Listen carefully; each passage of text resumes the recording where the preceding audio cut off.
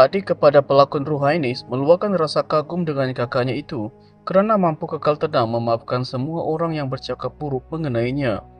Menerusi Instastory, Ruhainis dilihat memuat naik semula perkongsian adiknya itu.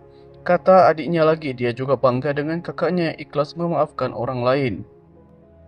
Saya seronok dapat berbual bersama Ruhainis tadi. Hari ini hari terakhir kami menjadi tetamunya. Kakak saya sangat mengagumi kakak. Kakak tetap mendiamkan diri setelah apa yang berlaku. Kakak ada beritahu saya yang kakak dah maafkan semua orang. Orang yang bercakap buruk kepada kakak. Fitnah sana sini. Saya bangga dengan kakak mengikhlaskan diri mema memaafkan mereka tanpa berkata apa-apa. Merupakan perkara yang paling disanjung. Subhanallah tulisnya. Sementara itu adik berkata Allah masih serta mereka sekeluarga akan sentiasa ada bersama Ruhainis. Dalam pada itu Ruhainis turut mengatakan, cukup Allah yang mengetahui segala perkara.